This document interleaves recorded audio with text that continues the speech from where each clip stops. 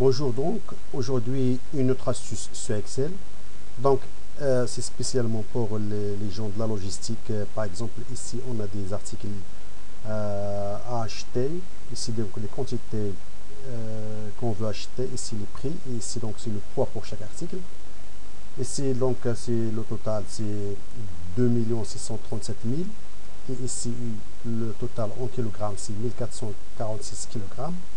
Donc notre but c'est de changer ces quantités de telle sorte à avoir en total un poids inférieur à 2000 et euh, un chiffre qui est environ 4 millions. Donc, comment faire pour changer ces quantités pour avoir ces, chiffres? La contrainte donc qu'on a, c'est pour les PC, on ne veut pas changer la quantité et pour les tablettes, on ne doit pas dépasser 1600.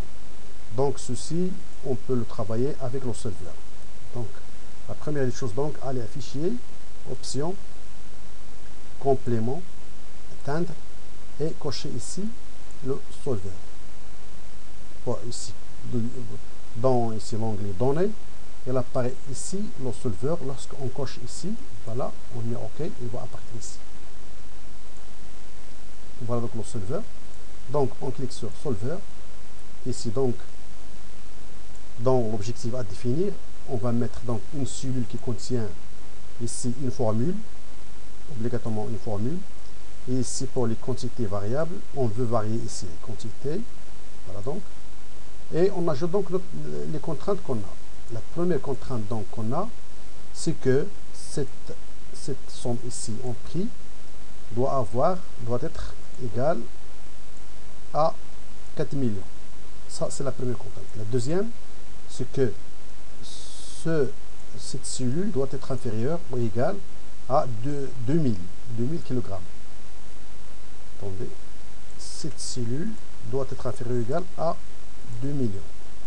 On va ajouter donc une autre, c'est que pour les PC, ils doivent, euh, on ne va pas changer, donc ça reste toujours 100, ajouter, et ici, pour les tablettes, inférieur ou égal à 1600.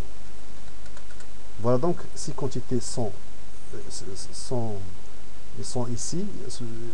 On va donc juste pour voir euh, le changement. On va donc dire, on va faire ici minimum. On va donc dire au serveur de trouver une solution. On va donc trouver une solution, voilà. Il a trouvé une solution. Donc il a trouvé ici 3 924 600, euh, 3 924 012. Et ici, elle a arrondi à juste à 2000 kg. Donc voilà, c'est une solution qu'elle a trouvée. On peut satisfaire donc avec ces résultats. C'est ça le, le, rôle de, solver pour les logisticiens. Lorsqu'on veut changer par exemple le poids ou bien le prix, on adopte cette, cette méthode. ok? Et là, donc, il respecté ici 200. Et là, donc, ici inférieur à 1600. Il a joué donc sur les, au lieu de 600, il a mis 645 au lieu de 600, il a mis 618. Il a arrangé de telle façon à mettre ces résultats.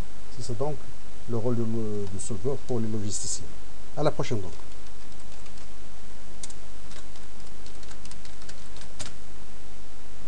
N'hésitez pas à vous abonner sur notre chaîne, c'est intéressant.